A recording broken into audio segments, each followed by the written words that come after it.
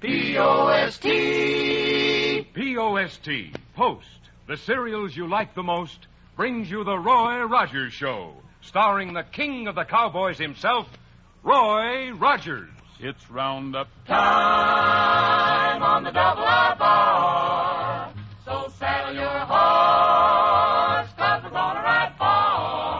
Double R Bar Ranch transcribed stories and songs of the real West with the Whippoorwills, the wisest trail scout of them all, Jonah Wild, played by Forrest Lewis, the Queen of the West, Dale Evans, and in person, the King of the Cowboys, Roy Rogers.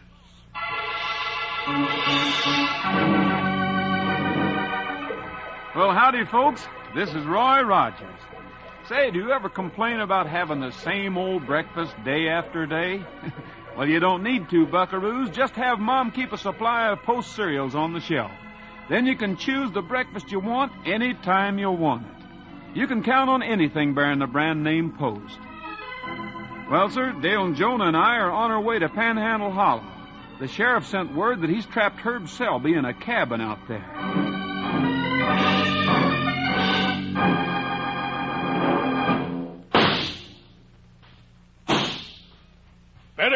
Out, Selby. Hey, Sheriff! I'm still here. Ah, hoping I got you. All right, I'm giving up. My ammunition's gone. Hands over your head, then. No tricks. Come on. You ought to get a big reward for this, lawman. Hey, why don't you make up some big story about the fight you had to take me? I'll sing along with you. Make it as big as you like. Look better for you than saying the only reason you got me was because I run out of ammunition. Whoa, Granger, whoa, boy. Just in time, Roy, Dale. Lower your hands, Selby. Let's see how these fit your wrist. Well, if it ain't Trigger and his friends. Come out to escort me to jail, did you, Rogers? No, but it's a pleasure I won't turn down. Then you better rope me to my horse and rope my horse to yours, or I'll bust loose on the way. Just like I'm gonna bust out of that cracker box jail you got in Mineral City. You sure talk big. And why not? I got loot hidden all over this territory, and I won't sit in jail and let it rot. We'll ride in with you, Sheriff. I don't like the way this hombre's acting.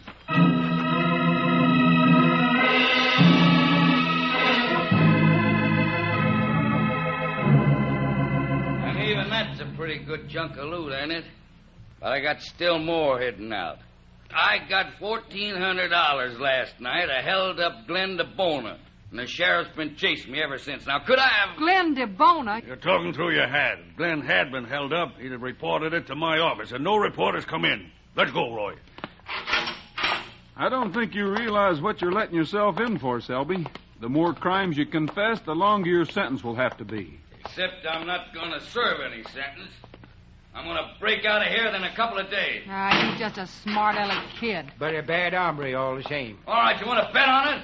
You want to bet that I won't break out? Sheriff, let's get DeBona over here and ask him if he was robbed. We've got to find out how much Selby's talk is truth and how much he lies. Go right ahead. While we're waiting for him, I'll slip over to the bank. Some counterfeit money showed up there, and I want to get a report ready for the federal authorities. Okay, Sheriff, I'll call him. Make yourselves comfortable in the office. We will, thanks. No, I tell you, Roy, that blow the bugle here I come attitude of his is getting to be more than I can stand. Uh, you wait here. I'll call Glenn. Sure, Roy. Now, Jonah, you give the sheriff his dues. He's going there to try and float a loan so he can get Dorothy May another present. but presents ain't going to do that polecat no good now. Not after last night. What happened last night? Well, he had a date with Dorothy May and didn't show up. Well, she'll understand if a man's business keeps him from No, getting. no, 'twarn't business that kept him away. No, sir. You see, I happened to pass by the sheriff's right after supper, and I seen him through the window. Hmm. Cleaning spots off his celluloid collar with a piece of art gum eraser. Cheapskate. I knowed right away what he was up to, so I got Caroline Seplow to phone and say that she was a friend of Dorothy May's, and that Dorothy May was indisposed, and so would he not come over. Why, Jonah Wild. Hmm. His goose is cooked. Dorothy May sat there all evening with nothing to do. nothing to do but watch the clock and tap her foot. Well, Glenn will be here in a few minutes. He seemed a little upset when I said we were at the sheriff's office. He's probably on edge after working at the Mitchell Ranch all year and trying to help his sister keep the bakery going, too. This is the first week he hasn't had two jobs, remember? No, Glenn didn't sound just edgy. There was fear in his voice, too. Well, he'll soon be here. We can find out then if anything is wrong.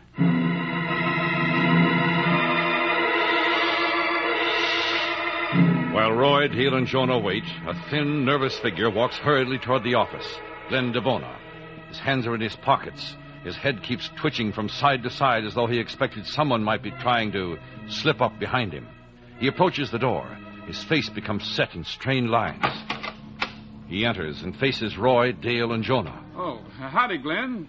Sorry if we took you away Hey, from what is anything. all this? What is all this? Where's the sheriff? He said on the phone he was looking for me. Uh, the sheriff had to go to the bank. All we wanted was to ask whether or not you were held up last night. No, no, I wasn't.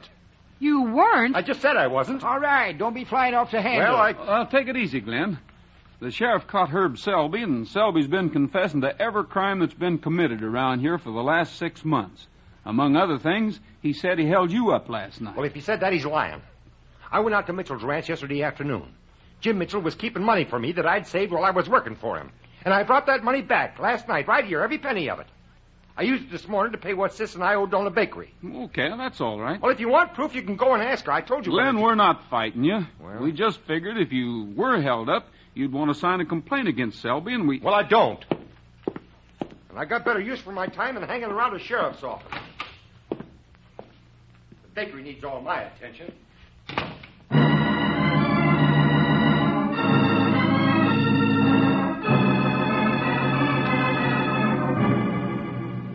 You're not as big a public enemy as we thought, Herb. Just a big bag of wind. All the holdups you told us about are probably brags. If you want us to believe you're such a clever fella, you should offer some kind of proof. Huh.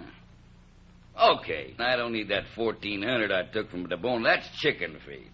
So I'll tell you where it is. That'll sure help. You know the cabin where the sheriff took me? Yeah. Well, there's a pine tree about ten feet from the south corner. The money's at the base of the tree, on the side next to the cabin. We'll have a look. I'll probably be gone before you get back. But anyway, you'll know I back up my claim. I doubt you'll be gone, Selby. I think you'll be right where you are for a long, long time.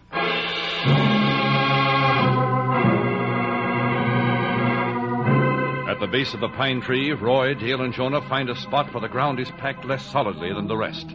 They dig down. Roy's shovel strikes something soft. He stops digging, reaches into the hole. A leather pouch. Yeah, and it's filled with something, too. Money. Convolution. There's some initials on it. J.M. But Glenn's initials Well, are. J.M. stands for Jim Mitchell. Jim must have loaned the pouch to Glenn. Want me to count the money, Roy? Yeah, go ahead. Jonah, something's mighty wrong here. We'll have to check deeper into what's happened. Why, that Glenn DeBoner's been lying like a goat. Jonah, I know you don't like to be around the sheriff any more than you have to. He's a polecat. So while Dale and I ride in and turn this money over to him, you hightail it to Eddie Robertson's place. He's held a mortgage on the bakery and find out if Glenn's paid off. But don't let him know anything is in the wind. There's $1,400 here, exactly. That's it then. Come on. You and I'll ride in and hand it over to the sheriff. Jonah has something else to do.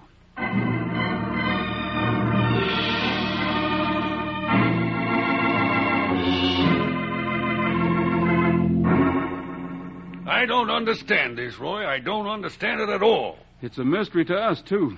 Glenn can't get his money back unless he admits it's stolen, can he? Well, howdy, Jim. Hello, Mr. Mitchell. Afternoon, Jim. Howdy. I understand you people have been trying to give Glenn DeBona a bad time. Well, that's hardly true. News travels fast, doesn't it, Jim? I rode in to be a character witness for Glenn. He worked for me for a year, was one of the best hands I ever had. Did his work well, no carousing or gambling, and he saved his money. Yeah, we understand he did. He earned twelve hundred dollars while he was here and saved over a thousand of it. Fact is, last night he came and took what he saved. A thousand seventeen dollars. A thousand seventeen. Nobody's accused Glenn of anything, Jim. Herb Selby claimed to have held him up. nobody'd better accuse him of anything either. Glenn's a good man. I'll back him to the hilt. No hard feelings, I hope. No, I just dropped in to give Glenn a reference. Hmm. What do you make of that, Roy? Hey, Roy. Oh, Roy. What? Roy, can, can I have the rest of the day off? I'm I'm I'm going to write another chapter in my book titled "Honesty is the Best Policy." I'm inspired, Roy. I am. Where did you get all that money, Jonah? Robbed somebody. Oh, nothing like this has ever happened before. I was on my way to see Eddie Robertson, and I was hungry, 'cause I didn't have no dinner this noon, you see. He's lost his mind. Well, Glenn's bakery wagon was in front of the livery stable, but Glenn wasn't nowhere around, so I left 20 cents and took a loaf of bread. Always was right on the edge. Well, sir, I went to eat some. Eh, oh, hush. And a great big roll of $10 bills was inside of the loaf. And this proved that honesty is the best policy. For 20 cents, I got a loaf of bread and a roll of bills. Wait a minute, Jonah. Huh? Sheriff, Glenn seems to have more money than a man in his position can rightfully account for. I think we'd better check up on him for keeps this time.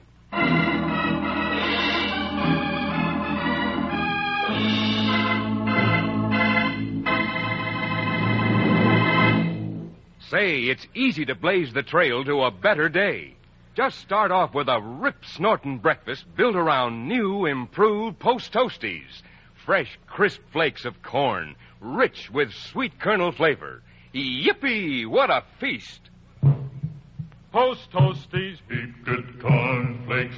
the best thing that's happened to corn since the Indians discovered it. Heap good corn flakes. Post Toasties. Heap good cornflakes. And, Mom, if there's a paleface at your house who hasn't an appetite for breakfast, try setting a big bowl full of Post Toasties at his place and watch him eat hearty.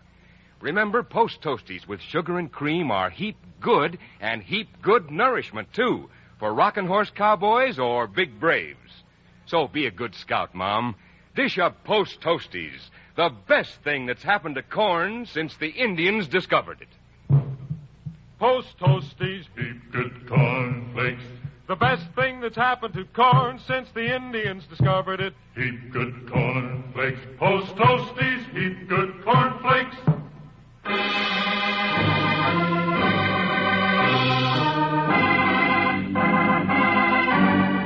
Finding a roll of $10 bills in a loaf of bread is the last in a series of incidents that make Glenn DeBona a man of mystery.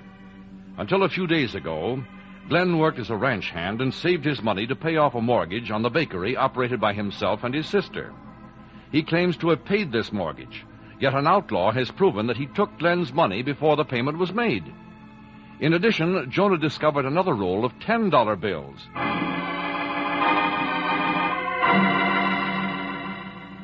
Yeah, all this talk about inflation is just so much eyewash. I say, it's just so much eyewash. Did you ever hear of a bigger bargain than I got? A loaf of bread and a roll of $10 bills for 20 cents? Are you all through now, Order? Through what? Jabbering. Roy's trying to say something. Oh, convolution. Well, excuse me, Roy. Well, I'm trying to find out whether or not you asked Eddie Robertson about Glenn paying off the mortgage. Well, certainly I say. By doggies, I didn't. This windfall come to me and I clean forgot it. I'll go, Roy. Well, maybe Dale should, Sheriff. Uh, we don't want it to look official yet. I'll take care of it. You better stay right here and be ready for trouble, Sheriff. Jonah and I will go on over to the bakery and have another talk with Glenn.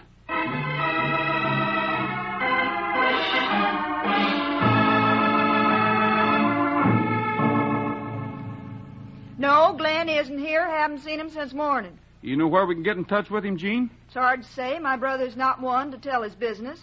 Anything I can do for you? Well, we were just wondering if there was any profit in bread at 20 cents a loaf, the way you bake it. Well, not much, I can tell you. Oh, I wouldn't think so.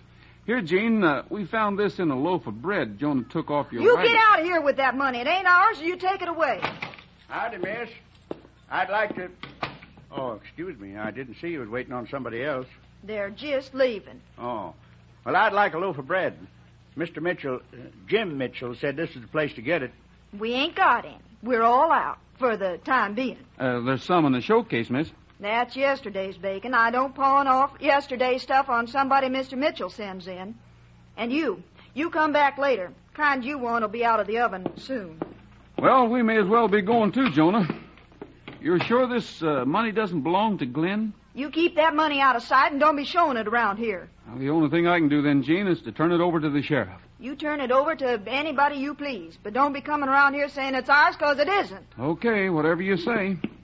I hope you won't regret this, Gene. Doggies, there's more money in this town than nobody wants. When somebody turns down money, Jonah, They usually have a pretty good reason. Yeah. Hey, that's shooting. It's coming from the sheriff's office. Let's let's get down there.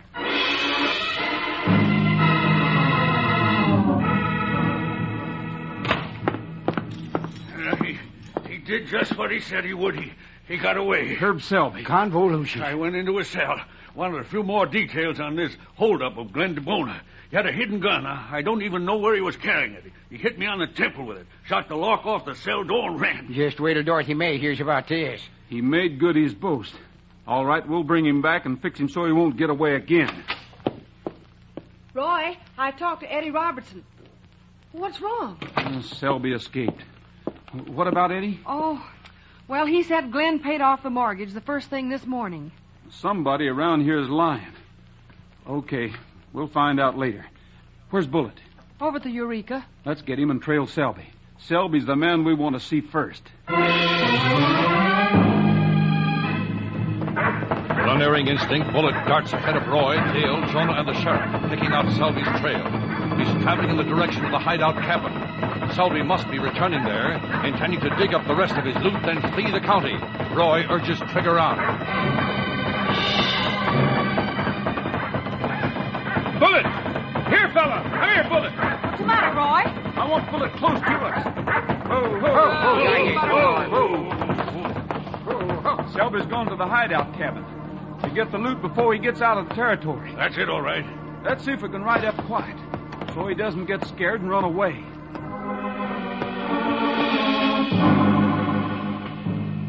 He must be inside the cabin. There's his horse. quiet, Bullet, oh. quiet. Dale, you better keep under cover. This man's pretty handy with a gun.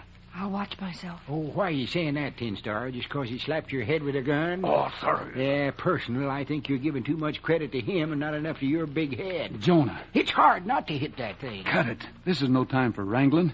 You two cover the sides of the cabin. I'll see if I can get up to the door.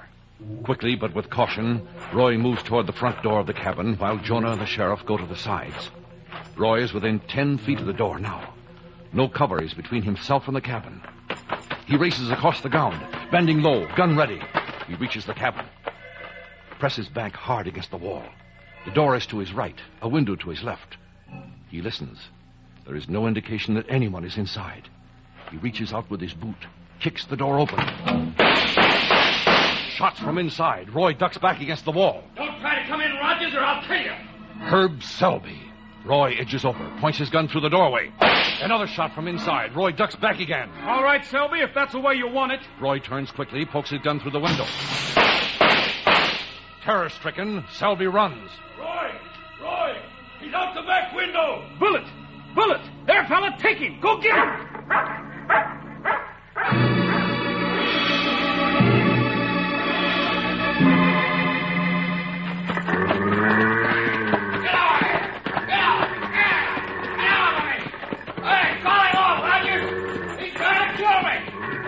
Me! Bullet! On guard, fella. That's enough. Take it easy. Boy, Bullet wasn't fooling. Stand quiet now, boy. You got your cuffs, Sheriff? Right here. Oh, yeah, he always got his cuffs and things like that. Just he can't keep his big head from being bopped by a gun. I'll talk to you later, author. I'll make it the next time, Rogers. No need to come this way next time, Selby. The loot's all dug up. We'll just take it back with us now, eh, Roy? Yeah, well, you thought I was hitting out of the territory right away, didn't you? Well, I wasn't. Not until tomorrow. Now, this Glenn DeBona claimed I didn't hold him up last night, so, well, I thought I'd get him tonight, but good. Selby, take a look at this. This is the money you took from him? Yeah, yeah, that's right, leather pouch and all. Fourteen hundred dollars. But he left Mitchell's ranch with a thousand seventeen. Sheriff, you haven't had a good look at this money yet, have you? I started to count it back at the office, but we were interrupted. Most of it's all right. But here's a couple hundred and tens. But what do you think of these? Oh, I see. Why, this one is of the same series as the counterfeit that showed up at the bank. Well, the others are the same series, too. Then this couldn't have been the money Glenn was carrying after all. Why not? Well, if it's counterfeit, Well, if it's counterfeit, there's a good chance Glenn's dealing bad money. Bacon it in bread. Convolution. Sheriff, how about letting me borrow your prisoner for the evening? Selby? Yeah, he may be able to help us get evidence on some counterfeiters. That is, providing you still want to do that one last job, Selby. Anytime, Rogers. Nobody is going to claim I didn't rob him when I did. You'll have to take the responsibility for this, Roy, and I won't know anything about it. Well, that suits us. Selby, we'll stay here until dark. If uh, if you try anything between now and then, you're just another prisoner who tried to escape. Understand?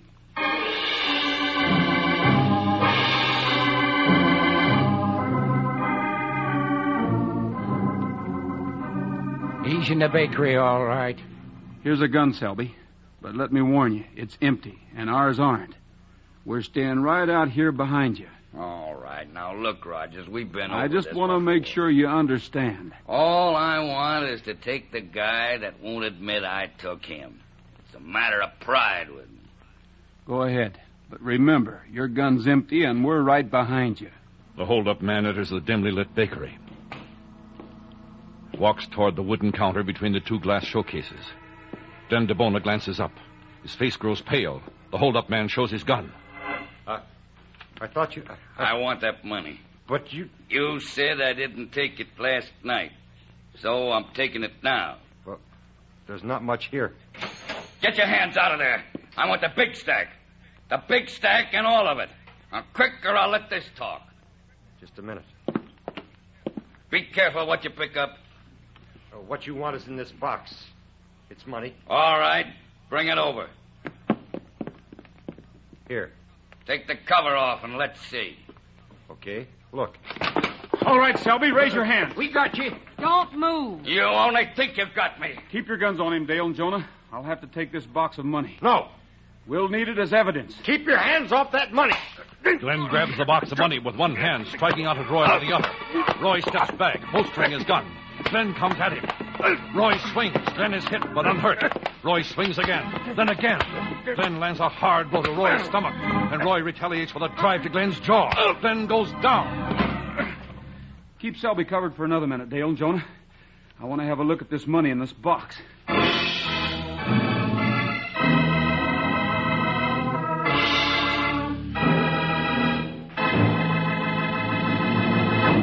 Howdy, Pards. Things sure have been jumping at the ranch, and that's just when a feller needs a good supply of energy most. So take an old hand's advice.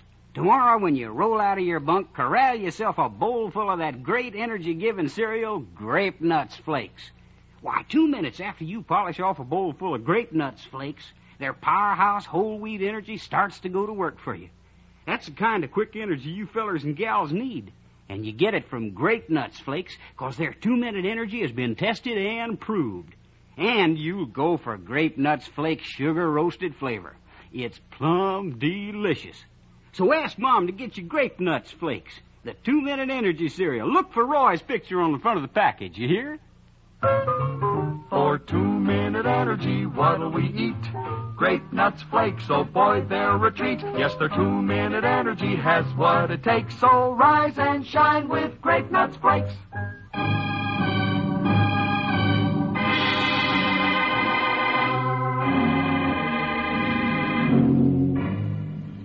Selby hasn't a chance in the world of escaping, Roy, and he'll stay that way from now on. Unless your big head gets in his way again.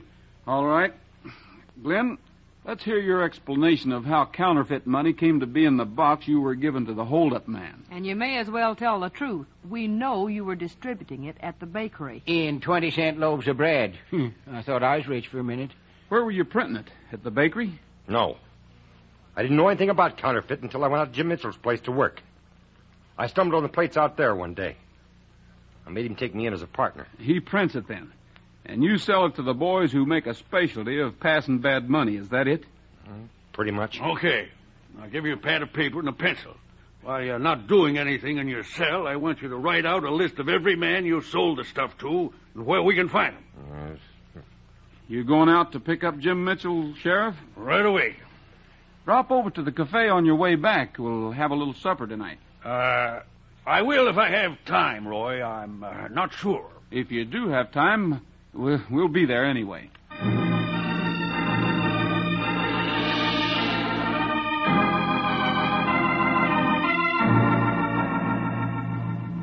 Sure a good meal, Dale.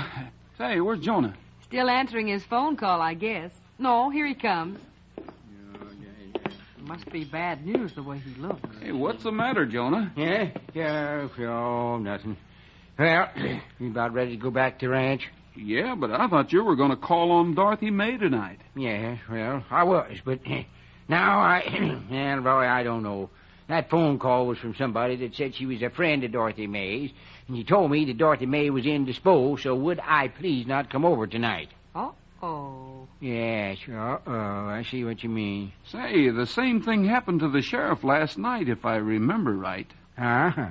Oh, what are you going to do about it? Well, I can't make up my mind, Roy. If somebody's a playing a joke on me and I don't go over, and Dorothy May has to sit there all evening alone a watching the clock and a tapping her foot, war. And on the other hand, if the phone call ain't a joke and I go barging in and she is indisposed, war.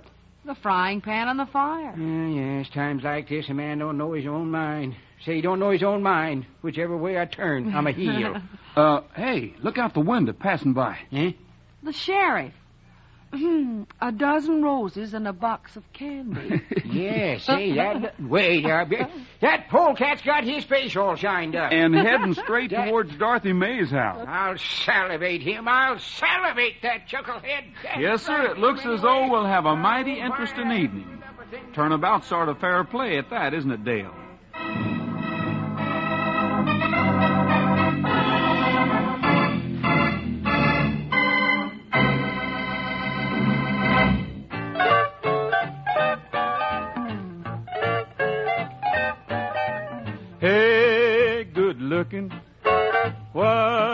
Got a cooking? How's about cooking something up with me?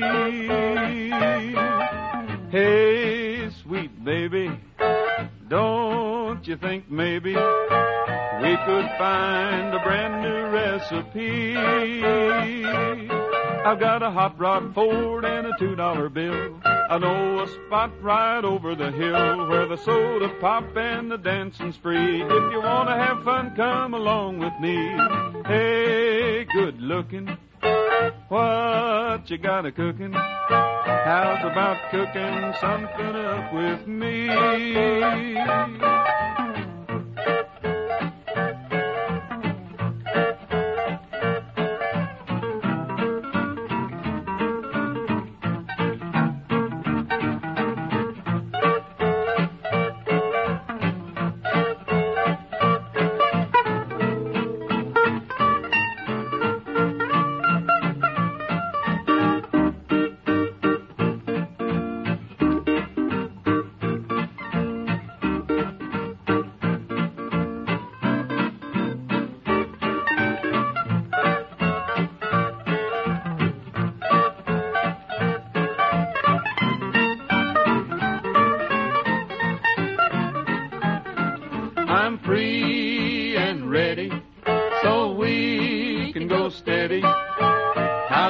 Saving all your time for me.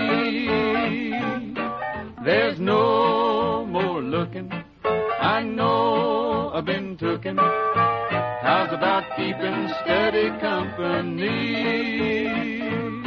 I'm gonna throw my date book over the fence and buy me one for five or ten cents. I'll keep it till it's covered with age. I'm gonna write your name down on every page.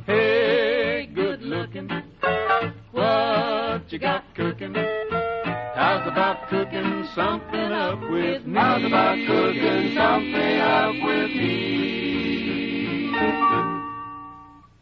That's all for now, folks. This is Roy Rogers saying to all of you, from all of us, goodbye, good luck, and may the good Lord take a liking to you. See you next week. Happy trails to you until we meet again. Happy trails smiling then. The Roy Rogers Show is brought to you by Post Cereals each week at this same time with the Whippoorwills, Forrest Lewis, Dale Evans, and the king of the cowboys himself, Roy Rogers. An Art Rush production transcribed, directed by Tom Hargis, script by Ray Wilson, music by Milton Charles. Featured in today's cast were Frank Hemingway, Herb Butterfield, Paul Zarimba, Herb Litton, Janet Warren, and Ralph Moody. This is Art Ballinger speaking for P-O-S-T. Post Cereals. Happy trails to you until